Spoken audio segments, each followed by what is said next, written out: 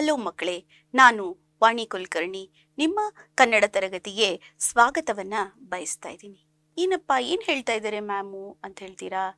ನೋಡಿ, ನಮ್ಗೆ ಗುರಿ ಇರಬೇಕಲ್ವಾ? ಗುರಿ ಇರಬೇಕು. ನಮಗೆ ಮುಂದೆ ಗುರಿ ಇರಬೇಕು, ಹಿಂದೆ ಗುರು ಇರಬೇಕು ಅಂತ ಹೇಳಿ ಹೇಳ್ತೀವಲ್ವಾ? ಹಾಗಿದ್ರೆ ಗುರಿ ಅಂತ ಅನ್ನುವಂಥ ಪದ್ಯ ಇದೆ ಅಲ್ವಾ? ಗೋಪಾಲಕೃಷ್ಣ ಅಡಿಗರು ಬರೆದಂಥ ಗುರಿ ಅನ್ನೋ ಪದ್ಯವನ್ನ ನೋಡೋಣ ಬನ್ನಿ ಮಕ್ಕಳೇ. ಹಾಗಿದ್ರೆ ಇಂದಿನ ತರಗತಿಯಲ್ಲಿ ಮೊದಲೇನು ಆಸ್ ಯೂಶುವಲ್ ಕಲಿಕಾಂಶಗಳು. ಬನ್ನಿ ಮಕ್ಕಳೇ, ನಮ್ಮ ಕಲಿಕಾಂಶಗಳೇನಿದೆ ಅಂತ ಹೇಳಿದ್ರೆ, ಇವತ್ತು ಕೃತಿಕಾರರ ಪರಿಚಯ ಇದೆ, ಪದ್ಯದ ಭಾವಾರ್ಥ ಇದೆ, ಆಮೇಲೆ ಅಭ್ಯಾಸ ಭಾಗ, ಮತ್ತೆ ಕೃತಿಕಾರರ ಮನನ ನಕ್ಷೆ, ಮತ್ತು ಮರುಮನನವಿದೆ. ಇಲ್ಲಿ ಏನಪ್ಪಾ ಫಸ್ಟು ಅಂತ ಹೇಳಿದ್ರೆ, ಕೃತಿಕಾರರ ಪರಿಚಯವನ್ನ ಮಾಡ್ಕೊಳ್ಳೋಣ. ಈ ಕೃತಿಕಾರರು ಯಾರು ಅಂತ ಹೇಳಿ. ಹಾಗಿದ್ರೆ ಮಕ್ಕಳೇ, ಕೃತಿಕಾರರ ಪರಿಚಯವನ್ನ ನೋಡೋಣ ಬನ್ನಿ ಮಕ್ಕಳೇ. ಎಂ. ಗೋಪಾಲಕೃಷ್ಣ ಅಡಿಗ ಅಂತ ಹೇಳಿ ಇವ್ರ ಹೆಸರು. ಇವ್ರು ಎಲ್ಲಿ ಅಂತ ಹೇಳಿದ್ರೆ, ನೋಡಿ, ನಾನು ಈ ಚಿತ್ರಗಳನ್ನ ನೋಡಿದ್ರೆ ನಿಮ್ಗೆ ಗೊತ್ತಾಗತ್ತೆ. ಉಡುಪಿ ಜಿಲ್ಲೆಯ ಕುಂದಾಪುರ ತಾಲೂಕಿನ ಮೂಗೇರಿ ಅನ್ನೋಲಿ ಜನಿಸಿದ್ರು ಇವರು. ಅದಕ್ಕೆ ಇವ್ರ ಹೆಸರು ಎಂ. ಗೋಪಾಲಕೃಷ್ಣ ಅಡಿಗ. ಎಂ ಅನ್ನೋದು ಮೋಗೇರಿ ಗೋಪಾಲಕೃಷ್ಣ ಅಡಿಗ ಅಂತ ಹೇಳಿ. ಯಾವಾಗಪ್ಪ ಇವ್ರು ಜನಿಸಿದ್ರು ಅಂತ ಹೇಳಿದ್ರೆ ಹತ್ತೊಂಬತ್ ನೂರ ಹದಿನೆಂಟು.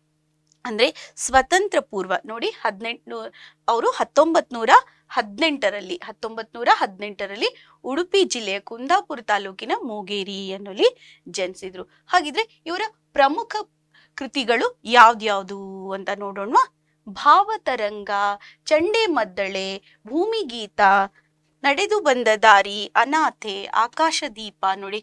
ಭಾವತರಂಗ, ಚಂಡೆ ಮದ್ದಳೆ, ಭೂಮಿಗೀತ, ನಡೆದು ಬಂದ ದಾರಿ, ಅನಾಥೆ, ಆಕಾಶದೀಪ ಇವರ ಪ್ರಮುಖ ಕೃತಿಗಳಾಗಿದೆ. ಹಾಗಿದ್ರೆ ಇವ್ರಿಗೆ ಸಿಕ್ಕಂತ ಪ್ರಮುಖ ಪ್ರಶಸ್ತಿಗಳು ಯಾವ್ದ್ಯಾವ್ದು ಅಂತ ಹೇಳಿದ್ರೆ, ಪಂಪ ಪ್ರಶಸ್ತಿ, ರಾಜ್ಯೋತ್ಸವ ಪ್ರಶಸ್ತಿ, ಕೇಂದ್ರ ಹಾಗೂ ಸಾಹಿತ್ಯ ಅಕಾಡೆಮಿ ಪ್ರಶಸ್ತಿ, ಮತ್ತೆ ಕೇರಳದ ಕುಮಾರನ್ ಆಶಾನ ಪ್ರಶಸ್ತಿ, ಮಧ್ಯ ಪ್ರದೇಶದ ಏನು ಕಬೀರ್ ಸನ್ಮಾನ್ ಅಂತ ಹೇಳಿ ಬರುವಂತ ಪ್ರಶಸ್ತಿ, ಮತ್ತೆ ಇವರು ಧರ್ಮಸ್ಥಳದಲ್ಲಿ ನಡೆದಂತ ಐವತ್ತೊಂದನೆಯ ಅಖಿಲ ಭಾರತ ಅಖಿಲ ಭಾರತ ಕನ್ನಡ ಸಾಹಿತ್ಯ ಸಮ್ಮೇಳನ ಇರುತ್ತಲ್ಲ, ಅದಕ್ಕೆ ಅಧ್ಯಕ್ಷರಾಗಿದ್ರು.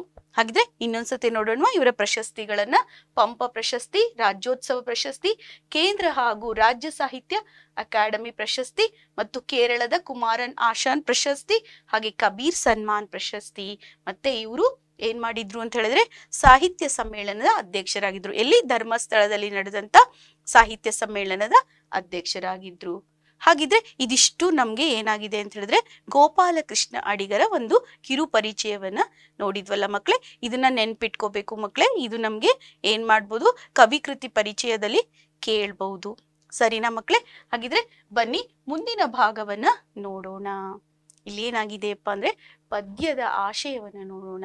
ಅಂದ್ರೆ ಮನುಷ್ಯನಿಗೆ ಒಂದೇ ಗುರಿ ಇರಬೇಕು ಅನ್ನೋದನ್ನ ಈ ಪದ್ಯದಲ್ಲಿ ಹೇಳ್ತಾ ಇದ್ರೆ. ಒಂದು ಗುರಿ ಹೆಂಗಂದ್ರೆ ಒಂದು ದೇಹಕ್ಕೆ ಒಂದು ಆತ್ಮ ಹೇಗಿರುತ್ತೋ ಹಾಗೆ ಒಂದೇ ಗುರಿ ಇರಬೇಕು. ಆ ಗುರಿಯನ್ನ ನಾವು ಸಾಧಿಸೋದಕ್ಕೆ ನಾವೇನ್ ಮಾಡ್ಬೇಕು? ದೃಢ ಸಂಕಲ್ಪವನ್ನ ಹೊಂದಬೇಕು. ಆ ಗುರಿಯನ್ನ ಸಾಧಿಸ್ಬೇಕು ಅನ್ನೋದು ಏನಾಗಿದೆ? ಈ ಪದ್ಯದ ಆಶಯ ಆಗಿದೆ ಮಕ್ಕಳೇ.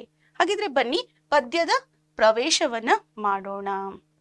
ಇಲ್ಲಿ ಗುರಿ ಇಲ್ಲದ ಜೀವನ ಹೇಗಿರುತ್ತೆ ಅಂದ್ರೆ ಚುಕ್ಕಾಣಿ ಇಲ್ಲದ ನೌಕೆ ಅಂತ ಅಂದ್ರೆ ಎಲ್ ಎತ್ತಬೇಕಾದ್ದು ಹೋಗ್ಬಿಡುತ್ತೆ ಎಲ್ಲಿ ಬೇಕಾದರೂ ಹೋಗ್ಬೋದು. ಬದುಕಿಗೆ ಏನಾಗಬೇಕು? ನಿಶ್ಚಿತವಾದದ್ದೊಂದು ಗುರಿ ಇರಬೇಕು, ಒಂದು ಸಾಧನೆ ಇರಬೇಕು. ಆ ಗುರಿಯನ್ನ ಸಾಧಿಸೋದಕ್ಕೆ ಹಗಲಿರುಳು ನಾವು ಪ್ರಯತ್ನವನ್ನು ಮಾಡಬೇಕು ಅನ್ನೋದು ಈ ಒಂದು ಪದ್ಯದ ಪ್ರವೇಶವಾಗಿದೆ ಮಕ್ಕಳೇ ಸರಿನಾ ಮಕ್ಕಳೇ ಹಾಗಿದ್ರೆ ಬನ್ನಿ ಪದ್ಯವನ್ನ ನೋಡೋಣ. ಮೊದಲನೇ ಪ್ಯಾರಾಗ್ರಾಫ್ ಅಲ್ಲಿ ಏನ್ ಕೊಟ್ಟಿದ್ದಾರೆ ನಮ್ಮ ಲೇಖಕರು, ನಮ್ಮ ಕೃತಿಕಾರರು ಅಂತ ಹೇಳಿ ನೋಡೋಣ. ನೋಡಿ, ಅಳಿ ಆಸೆಗಳ ಸುಳಿಗೆ ಸಿಲುಕಿದಲೆ. ಅಳಿ ಆಸೆಗಳ ಸುಳಿಗೆ ಸಿಲುಕಿದಲೆ ಮನವೇ. ನೆಲೆ ಇರದೆ ತೊಳವುದು ಮನುಜ ಜೀವನವೇ. ಇಲ್ಲಿ ನೋಡಿ, ತೊಳಲುವುದು ತೊಳಲುವುದು ಮನುಜ ಜೀವನವೇ.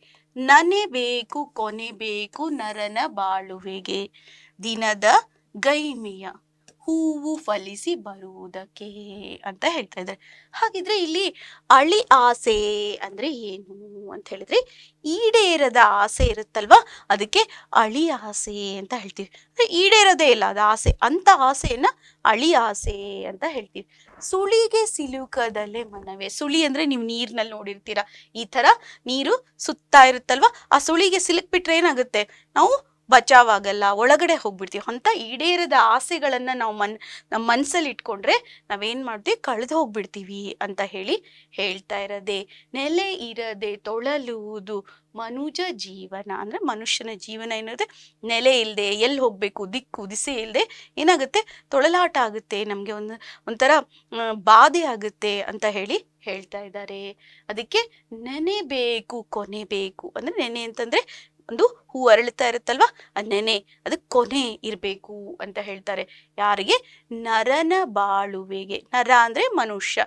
ಮನುಷ್ಯನ ಬಾಳುವೆಗೆ.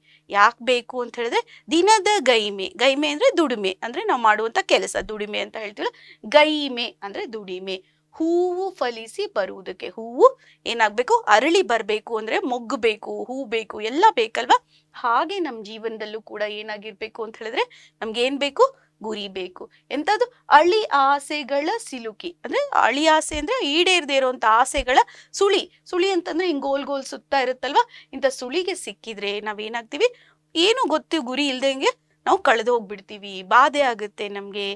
ಆದ್ರೆ ನಮ್ಗೆಲ್ಲ ಬೇಕು.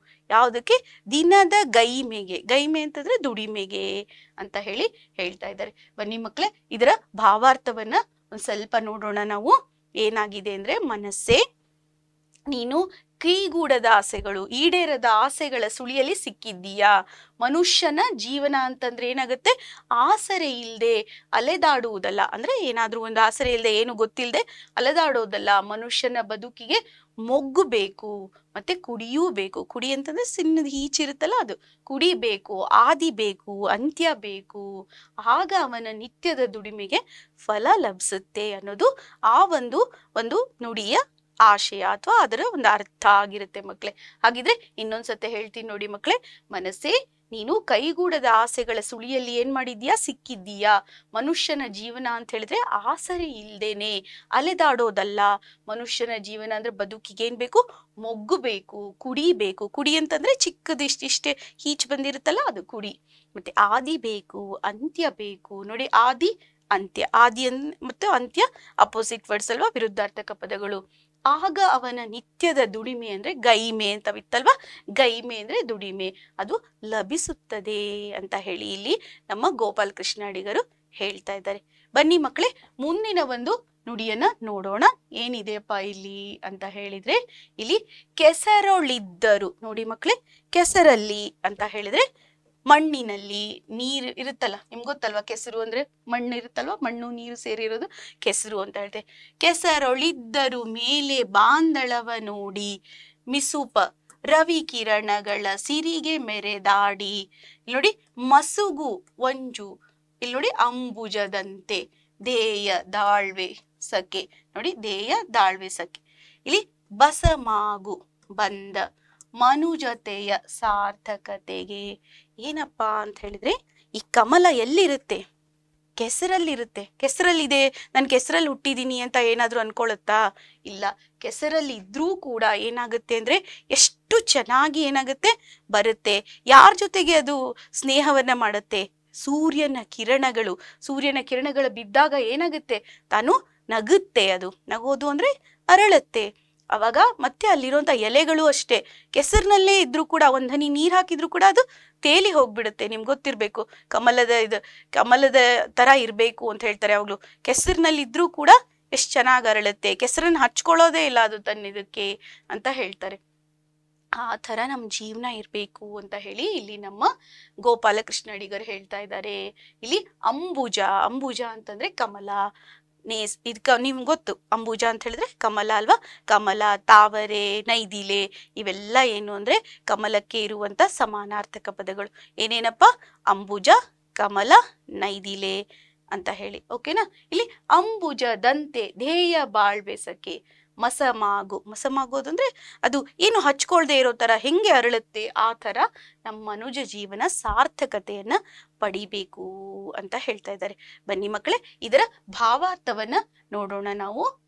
ಏನಪ್ಪ ಭಾವಾರ್ಥ ಅಂದ್ರೆ ಕಮಲವು ಕೆಸರಿನಲ್ಲಿ ಇದ್ದ ಹಾಗೆ, ಅದ್ ಅದರಲ್ಲಿದ್ರೂ ಕೂಡ ಅದೇನ್ ಮಾಡುತ್ತೆ? ಬಾಂದಳವನ್ನ ನೋಡುತ್ತೆ. ಬಾಂದಳ ಅಂದ್ರೆ ಆಕಾಶ. ಆಕಾಶ ಅಂತ ಹೇಳಿದ್ರೆ ನಾವೇನತ್ತೆ ಆಗಸ, ಆಕಾಶ, ಗಗನ ಇವೆಲ್ಲ ಸಮಾನಾರ್ಥಕ ಪದಗಳು. ಅದು ಬಾಂದಳವನ್ನ ನೋಡಿ ಪ್ರಕಾಶಿಸುವ. ಏನ್ ಮಾಡ್ತದೆ? ಪ್ರಕಾಶಿಸುವಂತ ಸೂರ್ಯನ ಕಿರಣಗಳನ್ನ ಏನ್ ಮಾಡುತ್ತೆ? ಅದನ್ನ ನೋಡಿ ಹೊಳಿತಾ ಇರುತ್ತೆ.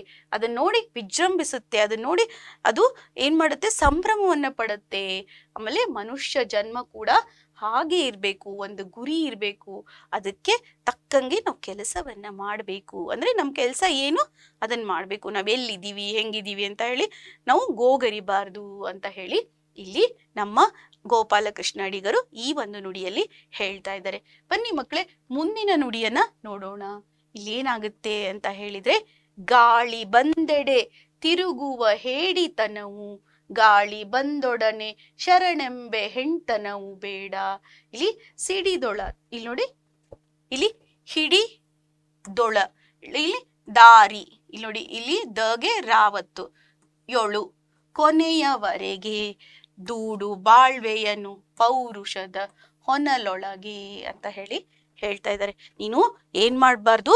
ಗಾಳಿ ಹೆಂಗ್ ಬರುತ್ತೆ ಹಂಗೆ ತೂರ್ಕೋಬಾರ್ದು. ಗಾಳಿ ಹೆಂಗ್ ಬರುತ್ತೆ ಹಂಗ್ ಹೋಗ್ಬಾರ್ದು. ಯಾವಾಗ್ಲೂ ನಾವೇನಾಗಿರ್ಬೇಕು, ನಮ್ದೇನ್ ಗುರಿ ಇರುತ್ತೆ, ಅದಕ್ಕೆ ನಾವು ಸ್ಟಿಕ್ ಆಗಿರ್ಬೇಕು. ಅದಕ್ಕೆ ನಾವು ಏನ್ ಮಾಡ್ಬೇಕು ಅಂತ ಹೇಳಿದ್ರೆ, ಅದೇನ್ ಸಾಧಿಸ್ಬೇಕು ಅದನ್ನೇ ಸಾಧಿಸ್ಬೇಕು. ಇವ್ರು ಒಂದ್ ಹೇಳಿದ್ರು, ಇವತ್ತು ಇದನ್ ಮಾಡೋದು, ನಾಳೆ ಒಬ್ರು ಹೇಳಿದ್ರು, ಇನ್ನೊಂದು ಮಾಡೋದು. ಹಂಗ್ ಮಾಡಬಾರ್ದು. ಗಾಳಿ ಬಂದ ಕಡೆ ನೀನು ಏನ್ ಮಾಡಬಾರ್ದು? ತೂರ್ಕೋಬಾರ್ದು. ಅದು ಹೋಗ್ಬಾರ್ದು. ನಿನ್ನ ನಿನ್ನ ದಿಕ್ಕನ್ನ ಬದಲಾಯಿಸಬಾರ್ದು. ಅದೆಲ್ಲಂಗತ್ತೆ ಹೇಡಿತನ ಆಗುತ್ತೆ. ಹೇಡಿತನ ಅಂತಂದ್ರೆ ಕೈಲಾಗ್ದವ್ರದ್ದು ಮಾಡ್ದಂಗಾಗುತ್ತೆ.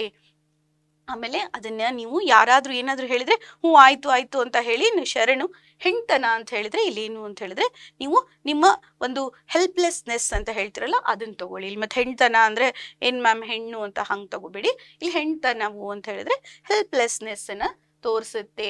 ನೀವೇನ್ ಮಾಡ್ಬೇಕು? ನಿಮ್ಮ ದಾರಿ ನಿಮ್ ಕೊನೆವರೆಗೂ ನೀವೇನ್ ಅನ್ಕೊಂಡಿರ್ತ ಅದನ್ನೇ ಸಾಧಿಸ್ಬೇಕು.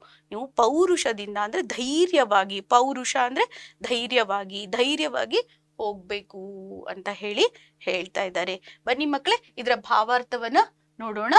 ನಮ್ಮ ಗೋಪಾಲಕೃಷ್ಣ ಅಡಿಗರು ಏನ್ ಹೇಳ್ತಾ ಇದ್ದಾರೆ ಅಂತ, ಗಾಳಿ ಬೀಸಿದತ್ತ ತಿರುಗುವಂತಹ ಅಂಜಿಕೆಯ ಮನಸ್ಸನ್ನ ನೀನ್ ಇಟ್ಕೋಬೇಡ ಮತ್ತು ಮುತ್ತಿಗೆ ಹಾಕಿದೊಡನೆ ತಲೆಬಾಗುವ ಒಂದು ಏನಂತ ಹೇಳ್ತೀರ, ನೀವು ಷಂಡತನ ಅಂತ ಹೇಳ್ತೀವಿ. ಅಂದ್ರೆ ಹೇಡಿತನ ಅಂತ ಅನ್ಕೊಳ್ಳಿ. ಹೇಡಿತನವನ್ನ ನೀನು ಬಳಸ್ಕೋಬೇಡ. ಪೌರುಷದ ಪ್ರವಾಹದೊಳಗೆ ಬದುಕನ್ನ ತಳ್ಳಿ. ನೀನೇನ್ ಮಾಡು? ಕೊನೆಗಾಲದವರೆಗೆ ಒಳ್ಳೆಯ ದಾರಿಯನ್ನ ಹಿಡಿದು ನಡೆ ಅಂತ ಹೇಳಿ ಹೇಳ್ಬೇಕು. ಇಲ್ಲೇನ್ ಗೊತ್ತಾ? ಗಾಳಿ ಬಂದ ಹಾಗೆ ನೀನ್ ಹೋಗ್ಬೇಡ. ಅಂಜಿಕೆಯಿಂದ ಹೋಗ್ಬೇಡ ಅಂತ ಹೇಳಿ ಹೇಳ್ತಾ ಇದ್ದಾರೆ ಮಕ್ಳೆ. ಸರಿನಾ ಮಕ್ಳೆ? ಹಾಗಿದ್ರೆ ಈ ಒಂದು ನುಡಿ ನಿಮ್ಗೆ ಅರ್ಥ ಆಯ್ತು ಅಂತ ಅನ್ಕೊಳ್ತೀನಿ. ಬನ್ನಿ, ಮುಂದಿನ ಭಾಗವನ್ನ ನಾವು ನೋಡೋಣ. ಏನಪ್ಪ ಇಲ್ಲಿ ಅಂತ ಹೇಳಿದ್ರೆ ನಮ್ಗೆ ಒಂದು ಬಾಣಕ್ಕೆ ಗುರಿಯು ಹಲವಿರುವುದುಂಟೆ ಅಂತ ಹೇಳಿ ಕೇಳ್ತಾ ಇದ್ರೆ. ಒಂದ್ ಬಾಣಕ್ಕೆ ಒಂದೇ ಗುರಿ ಇರ್ಬೇಕಲ್ವಾ? ಒಂದ್ ಬಾಣ ಇದ್ರೆ ಅಲ್ಲೂ ಇಲ್ಲೂ ಎಲ್ಲಾ ಕಡೆ ಹೊಡಿಯಕ್ಕಾಗತ್ತಾ ಇಲ್ಲ. ಒಂದೇ ಗುರಿ ಇರುತ್ತೆ. ಹಂಗೆ ಒಂದು ದೇಹದೊಳಾತ್ಮ ಇರುವುದುಂಟೆ ಅಂದ್ರೆ ಒಂದು ದೇಹದಲ್ಲಿ ಎರಡು ಆತ್ಮ ಇರುತ್ತಾ? ಇಲ್ಲ, ಒಂದೇ ಆತ್ಮ ಇರುತ್ತೆ. ಹಾಗೆ ಒಂದು ಜೀವನ ಕೇಕೆ ಹಲವು ಸಾಧ್ಯಗಳು. ಜೀವನಕ್ಕೆ ಯಾಕೆ ಹಲವು ಸಾಧ್ಯಗಳಿದೆ? ಒಂದೇ ಹೆಗ್ಗುರಿಗೆ ಹೋರಾಡು ಹಗಲಿರುಳು. ಹೆಗ್ಗುರಿ ಅಂದ್ರೆ ದೊಡ್ಡದಾದ ಗುರಿ. ನೋಡಿ. ಹೆಗ್ಗುರಿ ಅಂದ್ರೆ ಏನು? ದೊಡ್ಡದಾದ ಗುರಿ. ಆ, ಗುರಿಗೆ ಹೆಗ್ಗುರಿ ಅಂತ ಹೇಳ್ತೀವಿ. ಹಗಲಿರುಳು ಅಂತ ಹೇಳಿದ್ರೆ ಹಗಲು ಮತ್ತಿರುಳು ಹಗಲಿರುಳು ಎರಡು ಸೇರ್ಸೋದಲ್ವಾ? ಓಕೆ ಮಕ್ಕಳೇ ಹಾಗಿದ್ರೆ ಇಲ್ಲಿ ಮತ್ತೊಂದು ಸ್ವಲ್ಪ ನಿಮಗೆ ಗ್ರಾಮರ್ ಟಾಪಿಕ್ ಅನ್ನ ಹೇಳ್ತಾ ಇದ್ದೀನಿ ನೋಡಿ. ಹೆಗ್ ಹೆಗ್ಗುರಿ ಅಂತಂದ್ರೆ ಹಿರಿದಾದ ಪ್ಲಸ್ ಗುರಿ ಅಂತ ಹೇಳ್ದಂಗೆ. ಹಿರಿದು ಕಿರಿದು ದೊಡ್ದು ಅನ್ನೋದೇನು? ಕರ್ಮಧಾರೆಯ ಸಮಾಸಕ್ಕೆ ಸಂಬಂಧಪಟ್ಟಂಗೆ. ಹಿರಿದಾದ ಪ್ಲಸ್ ಗುರಿ ಇಲ್ಲಿ ಹೆಗ್ಗುರಿ ಅಂತ ಬರುತ್ತೆ. ಹಿರಿದಾದ ಹಿರಿದಾದ ಪ್ಲಸ್ ಗುರಿ. ಹಿರಿದಾದ ಪ್ಲಸ್ ಗುರಿ, ಹೆಗ್ಗುರಿ ಅಂತ ಹೇಳ್ತೀವಿ. ಓಕೆನಾ? ಇದು ಕರ್ಮಧಾರೆಯ ಸಮಾಸ ಆಗುತ್ತೆ. ಇಲ್ಲಿ ಹಗಲಿರುಳು, ಹಗಲು ಪ್ಲಸ್ ಇರುಳು. ನೋಡಿ. ಹಗಲು, ಇದು ಸಂಧಿ. ನೋಡಿ. ಹಗಲು ಪ್ಲಸ್ ಇರುಳು ಅಲ್ವಾ? ಹಾ, ಇಲ್ಲಿ ಏನಾಗುತ್ತೆ? ಇಲ್ಲಿ ಲೂ ಅಲ್ಲಿ ಊ ಇದೆ. ಇಲ್ಲಿ ಇಲ್ಲಿ ಊ ಇದೆ, ಇಲ್ಲಿ ಇ ಇದೆ. ಈ ಉ ಏನಾಗುತ್ತೆ? ಲೋಪ ಆಗಿ ಈ ಇ ಬಂದು ಇದಕ್ಕೆ ಸೇರ್ಕೊಳ್ಳುತ್ತೆ. ಅದಕ್ಕೆ ಇದು ಲೋಪ ಸಂಧಿ ಆಗುತ್ತೆ ಮಕ್ಕಳೇ. ಇದು ಹಿರಿದಾದ ಪ್ಲಸ್ ಗುರಿ, ಹೆಗ್ಗುರಿ, ಕರ್ಮಧಾರೆಯ ಸಮಾಸ ಆಗುತ್ತೆ. ನೋಡಿ, ಒಂದು ಬಾಣಕ್ಕೆ ಗುರಿಯು ಹಲವಿರುವುದುಂಟೆ. ಅಂದ್ರೆ ಜಾಸ್ತಿ ಇದೆಯಾ? ಹಲವು. ಜಾಸ್ತಿ ಇರುತ್ತಾ? ಇಲ್ಲ, ಒಂದು ಬಾಣಕ್ಕೆ ಒಂದೇ ಗುರಿ ಇರುತ್ತೆ. ಹಾಗೆ ಒಂದು ಆತ್ಮ ಒಂದ್ ದೇಹದಲ್ಲಿ ಒಂದೇ ಆತ್ಮ ಇರುತ್ತೆ. ಹಾಗೆ ನಾವು ಜೀವನಕ್ಕೆ ಅನೇಕ ಗುರಿಗಳು, ಅನೇಕ ಇದನ್ನ ಇಟ್ಕೋಬಾರ್ದು. ಅಲ್ಲಿ ಒಂದೇ ಹೆಗ್ಗುರಿ ಇಟ್ಕೊಂಡು ಹಗಲಿರುಳು. ಅದಕ್ಕೇನೆ ನಾವು ಪ್ರಯತ್ನವನ್ನ ಮಾಡಬೇಕು. ಅದನ್ನು ಸಾಧಿಸೋದಕ್ಕೆ ನಾವು ಪ್ರಯತ್ನವನ್ನ ಮಾಡಬೇಕು ಅಂತ ಹೇಳಿ ಇಲ್ಲಿ ನಮ್ಮ ಕೃತಿಕಾರರಾದಂಥ ಗೋಪಾಲಕೃಷ್ಣ ಅಡಿಗರು ಹೇಳ್ತಾ ಇದ್ದಾರೆ ಮಕ್ಕಳೇ. ಹೌದಾ? ಗೊತ್ತಾ ಮಕ್ಕಳೇ? ಬನ್ನಿ ಮುಂದಿನ ಒಂದು ನುಡಿಯನ್ನ ನೋಡೋಣ. ಮಕ್ಕಳೇ ಇದಿಷ್ಟನ್ನು ನಾವು ನೋಡಿದ್ವಲ್ಲ, ಈಗ ಇದರ ಒಂದು ಭಾವಾರ್ಥವನ್ನ ಇಲ್ಲಿ ನೋಡೋಣ ಬನ್ನಿ ಮಕ್ಕಳೇ. ಏನಪ್ಪ ಭಾವಾರ್ಥ ಅಂತ ಹೇಳಿದ್ರೆ, ಇಲ್ಲಿ ನಾವು ಒಂದು ಬಾಣಕ್ಕೆ ಅನೇಕ ಗುರಿಗಳು ಇರಲ್ಲ. ಹಾಗೇನೆ ಒಂದ್ ಶರೀರದಲ್ಲಿ ಎರಡು ಆತ್ಮಗಳಿರಲ್ಲ. ಹಾಗೆ ಒಂದು ಬದುಕಿಗೆ ಎರಡು ಗುರಿಗಳು ಬೇಡ. ಒಂದೇ ಗುರಿನ ಇಟ್ಕೊಂಡು, ದೊಡ್ಡ ಗುರಿನ ಇಟ್ಕೊಂಡು ನಾವು ಸಾಧಿಸ್ಬೇಕು, ಅದಕ್ಕೆ ಶ್ರಮಿಸ್ಬೇಕು ಅನ್ನೋದು ಈ ಒಂದು ಪದ್ಯದ ಭಾವಾರ್ಥ ಮಕ್ಕಳೇ. ಬನ್ನಿ, ಮುಂದಿನ ಒಂದು ಪದ್ಯದ ಭಾಗವನ್ನು ನೋಡೋಣ. ಇಲ್ಲಿ ಏನಾಗಿದೆಯಪ್ಪ ಅಂತ ಹೇಳಿದ್ರೆ, ನರನೊಳಗೆ ನಾರಾಯಣ. ಇಲ್ಲಿ ನೋಡಿ. ನರ. ನರ ಅಂದ್ರೆ ಮನುಷ್ಯ. ನರ ಅಂತ ಹೇಳಿದ್ರೆ ಮನುಷ್ಯ. ಮನುಷ್ಯ. ಓಕೆ? ನೀವು ಕೇಳಿರ್ತೀರಾ, ಯಾವಾಗ್ಲೂ ಇದನ್ನ ಕೇಳಿರ್ತೀರಾ? ಮನುಷ್ಯ ಮನುಷ್ಯ ಅಂತ ಹೇಳಿ. ನಾರಾಯಣನ ರೂಪ ಕಂಡು. ಅಂದ್ರೆ ಮನುಷ್ಯರಲ್ಲಿ ನಾರಾಯಣನ ರೂಪ ಅಂದ್ರೆ ದೇವರ ರೂಪವನ್ನ ನೀವು ಕಾಣ್ಬೇಕು. ತಿರೆಯೊಳಗೆ. ನೋಡಿ, ತಿರೆ ಅಂದ್ರೆ ಭೂಮಿ. ತಿರೆ ಅಂದ್ರೆ ಭೂಮಿ, ಭೂ ಅಂತ ಹೇಳ್ತೀವಲ್ವಾ? ವಸುಂಧರೆ ವಸುದೆ ಧರಿಣಿ, ಇವೆಲ್ಲ ಧರಣಿ, ಎಲ್ಲ ನಮ್ಮ ಭೂಮಿಗೆ ಇರುವಂತ ಹೆಸರುಗಳು. ತೀರೆಯೊಳಗೆ ಸುರಪುರದ ಮೈಯ ಸಿರಿಯನುಂಡು. ಸುರಪುರ, ಸುರ ಅಂತಂದ್ರೆ ಇವರು ಯಾರು? ದೇವತೆಗಳು. ಸುರರು ಅಂದ್ರೆ ದೇವತೆಗಳು. ಆಮೇಲೆ ಪುರ ಅಂದ್ರೆ ಅವರ ಊರು. ದೇವರೂರು ಯಾವುದು? ಯಾವ ಲೋಕ ಹೇಳ್ತೀವಿ ನಾವು? ಹಾ, ಸ್ವರ್ಗಲೋಕ ಅಂತ ಹೇಳ್ತೀವಲ್ವಾ? ದೇವರ ಊರು ಸ್ವರ್ಗಲೋಕ. ಇಲ್ಲಿ ಮೈ ಸಿರಿಯ ನುಂಡು ಮೈ ನುಂಡು ಅಂತ ಹೇಳಿದ್ರೆ ಚಂದ ಇರೋದು ಅಂತ ಹೇಳಿ. ಪರಹಿತಕ್ಕೆ, ಪರ, ಇನ್ನೊಬ್ಬರ ಹಿತಕ್ಕೆ ನಾವು ಬಯಸ್ಬೇಕು ಅಂದ್ರೆ ಪರರ ಹಿತವನ್ನ ನಾವು ಬಯಸ್ಬೇಕು ಅಂತ ಹೇಳ್ತಾ ಇದ್ದಾರೆ. ಬಳಲು ತಿರದುವೆ, ನೋಡಿ. ಇನ್ನೇ ಬಳಲೋದು ಅಂತ ಹೇಳಿದ್ರೆ ನಾವು ಏನ್ ಮಾಡ್ಬೇಕು ಅಂತ ಹೇಳಿದ್ರೆ ಮಕ್ಳೇ, ಯಾವಾಗ್ಲೂ ನಾವು ನಮ್ಮ ಒಂದು ಸುಖಕ್ಕೇನೆ ಹೋರಾಡಬಾರ್ದು. ಬೇರೆಯವರ ಹಿತಕ್ಕೋಸ್ಕರ ನಾವು ನಮ್ಮ ಜೀವನವನ್ನ ಇಡಬೇಕು ಅಂತ ಹೇಳಿ ಇಲ್ಲಿ ಹೇಳ್ತಾ ಇದ್ದಾರೆ. ಇಲ್ಲಿ ಲಾಂಛನ ಅಂತ ಕೂಡ ಒಂದು ಬಂದಿದೆ. ಪರರ ತೆನೆ ಗೆಸಕಿದರು ನಮಗೆ ಲಾಂಛನವು ಅಂತ ಹೇಳಿದ್ದಾರೆ. ಲಾಂಛನ ಅಂದ್ರೆ ಚಿಹ್ನೆ, ಗುರುತು ಅಂತ ಹೇಳಿ ಹೇಳ್ತೀವಿ. ಬನ್ನಿ ಮಕ್ಳೇ, ಈ ಒಂದು ಭಾವಾರ್ಥವನ್ನ ನಾವು ಮತ್ತೊಂದ್ಸತಿ ನೋಡೋಣ. ಮಾನವನಲ್ಲಿ ದೇವನನ್ನ ಕಾಣ್ಬೇಕು. ನಾವು ಹಂಗೆ ಮಾಡ್ತೀವಲ್ವ? ಯಾವಾಗ್ಲೂ ನಾವು ನಮಸ್ಕಾರ ಮಾಡೋದು ಅವ್ರ ಅವರಲ್ಲಿರುವಂತ ಪರಮಾತ್ಮನಿಗೆ ಅಂತ ಹೇಳಿ ಹೇಳ್ತೀವಿ. ಈ ಭೂಮಿಯಲ್ಲಿ ದೇವಲೋಕದ ಸುಖವನ್ನ ನಾವು ಅನುಭವಿಸ್ಬೇಕು ಅಂತ ಹೇಳಿದ್ರೆ ಬೇರೆಯವರ ಬಳತಿಗಾಗಿ ನಾವು ದುಡಿಬೇಕು, ದಣಿಬೇಕು, ಮತ್ತೆ ನಿಜವಾದ, ಅದೇ ನಿಜವಾದ ಬದುಕು ಅಂತ ಹೇಳ್ತಾರೆ. ಅದಿಲ್ಲದೆ ಬೇರೆಯವರನ್ನ ನಾವು ಅಪಕೀರ್ತಿಗೆ, ಅವ್ರ ಕೆಟ್ಟ ಹೆಸರಿಗೆ ಕಾರಣ ಆಗ್ಬಾರ್ದು ಅಂತ ಹೇಳಿ. ಅಂದ್ರೆ ಬೇರೆಯವ್ರಿಗೆ ತೊಂದರೆ ಕೊಡಬಾರದು ಅಂತ. ಏನ್ ಮ್ಯಾಮ್ ಅಪಕೀರ್ತಿ ಅಂದ್ರೆ ಅವ್ರು ಕೆಟ್ಟ ಮಾಡ್ ಕೆಟ್ಟ ಮಾಡಬಾರ್ದು. ಅವ್ರಿಗೇನು ನಾವು ಕೆಡಕನ್ನ ಬಯಸಬಾರದು ಅನ್ನೋದು ಇಲ್ಲಿ ನಮ್ಮ ಗೋಪಾಲಕೃಷ್ಣ ಅಡಿಗರ ಒಂದು ಆಶಯವಾಗಿದೆ ಅಂತ ಹೇಳಿ ಬಯಸ್ತೀನಿ ಮಕ್ಕಳೇ. ಬನ್ನಿ ಮಕ್ಕಳೇ, ಈ ಪದ್ಯದ ಮುಂದಿನ ಭಾಗವನ್ನ ನೋಡೋಣ. ನಾವು ಇಲ್ಲಿ ಪದಗಳ ಅರ್ಥ ಇದೆ. ನಾನು ಈಗಾಗಲೇ ಹೇಳ್ಬಿಟ್ಟಿದ್ದೀನಿ ನಿಮಗೆ ಪದಗಳ ಅರ್ಥವನ್ನ. ಆದ್ರೂ ಒಂದ್ಸತಿ ಸುಮ್ಮನೆ ಹೇಳ್ತಾ ಇದ್ದೀನಿ ನೋಡಿ. ಇಲ್ಲಿ ಅಂಬುಜ ಅಂದ್ರೆ ತಾವರೆ, ಅಂಬು ಅಂದ್ರೆ ನೀರು, ಜ ಅಂದ್ರೆ ಜನಿಸಿದ್ದು ಅಂತ ಹೇಳಿ. ಅಳಿಯ ಆಸೆ ಅಂದ್ರೆ ಕೀಳಾಸೆ, ಈಡೇರದ ಆಸೆ ಅಂತ ಹೇಳ್ತೀವಿ. ಮತ್ತೆ ಆಲೈಸೆ ಅಂದ್ರೆ ಆಳಿನ ಕೆಲಸ ಅಂತ ಹೇಳಿ. ಬನ್ನಿ ಮಕ್ಳೇ, ಇನ್ನೊಂದು ಸ್ವಲ್ಪ ಭಾಗವನ್ನ ನೋಡೋಣ ಇಲ್ಲಿ. ಪದಗಳ ಅರ್ಥ ಮತ್ತು ವ್ಯಾಕರಣಾಂಶವನ್ನ ನೋಡೋಣ. ಏನಪ್ಪಾ ಇದೆ ಪದಗಳ ಅರ್ಥ, ವ್ಯಾಕರಣಾಂಶ ಅಂತ ಹೇಳಿದ್ರೆ? ಬೆಸನ ಅಂತ ಹೇಳಿದ್ರೆ ಕೆಲಸ ಅಂತ. ಬೆಸನ ಅಂದ್ರೆ ಕೆಲಸ. ಒಳಾರಿ ಅಂತಂದ್ರೆ ಒಳ್ಳೆಯ ದಾರಿ. ಒಳ್ಳೆಯ ದಾರಿಗೆ ಒಳಾರಿ. ಒಳ ಒಳ್ಳೆಯ ದಾರಿ ಅಂತ. ಗೈಮೆ ಅಂದ್ರೆ ದುಡಿಮೆ, ನಿಮ್ಗೆ ಗೊತ್ತಿದೆ. ತೀರೆ ಅಂದ್ರೆ ಹೇಳಿದೀನಿ. ಭೂಮಿ ವಸುದೆ ಸುಂದರೆ, ಧರಿಣಿ, ಆಮೇಲೆ ನೀವು ಅವನಿ ಅಂತ ಹೇಳ್ಬೋದು, ಓಕೆ, ಮಹಿ ಅಂತ ಹೇಳ್ಬೋದು, ಇವೆಲ್ಲ ಭೂಮಿಗಿರುವಂತ ನಾನಾ ಅರ್ಥಗಳು ಅಂತ ಹೇಳ್ತೀವಿ. ಮಕ್ಕಳೇ ನಾನಾ ಅರ್ಥಗಳೆಲ್ಲ, ಸಮಾನಾರ್ಥಕ ಪದಗಳು ಮಕ್ಕಳೇ ಸಾರಿ ಭೂಮಿಗೆ ಇರುವಂತ ಸಮಾನಾರ್ಥಕ ಪದಗಳು. ಯಾವ್ದ್ಯಾವ್ದು? ಭೂ, ತಿರೆ ವಸುದೆ ಧರೆ, ವಸುಂಧರೆ, ಮಹಿ, ಅವನಿ ಇವೆಲ್ಲ ಭೂಮಿಗೆ ಇರುವಂತ ಏನಂತ ಸಮಾನಾರ್ಥಕ ಪದಗಳು, ನಾಟ್ ನಾನಾರ್ಥಕ ಪದಗಳು ಮಕ್ಕಳೇ ಇಲ್ಲಿ ನೋಡಿ, ಗೈಮೆ ಅಂದ್ರೆ ದುಡಿಮೆ, ಒಳಾರಿ ಅಂದ್ರೆ ಒಳ್ಳೆಯ ದಾರಿ, ಬೆಸನ ಅಂದ್ರೆ ಕೆಲಸ. ಬನ್ನಿ ಮಕ್ಕಳೇ ಮುಂದಿನ ಭಾಗವನ್ನ ನೋಡೋಣ ನಾವು. ಇಲ್ಲಿ ಏನಾಗಿದೆಪ್ಪ ಅಂತ ಹೇಳಿದ್ರೆ ನಾವು ಇನ್ನೊಂದ್ ಸ್ವಲ್ಪ ಪದಗಳ ಅರ್ಥವನ್ನ ನೋಡೋಣ. ಇಲ್ಲಿ ಬಾಂದಳ ಅಂದ್ರೆ ಆಕಾಶ, ಆಕಾಶಕ್ಕೆ ಗಗನ ಅಂತ ಹೇಳ್ತೀವಿ, ಹೌದಾ? ನಾವು ಆಕಾಶ, ಗಗನ ಹೌದಾ? ಓಕೆ, ಮತ್ತೇನ್ ಹೇಳ್ತೀವಿ ಮಕ್ಳೇ? ಹಾ, ಸರಿ. ಇಲ್ಲಿ ನೋಡಿ, ಮಸಗು ಅಂತ ಹೇಳಿದ್ರೆ ವಿಜೃಂಭಿಸು ಅಂತ ಹೇಳಿ.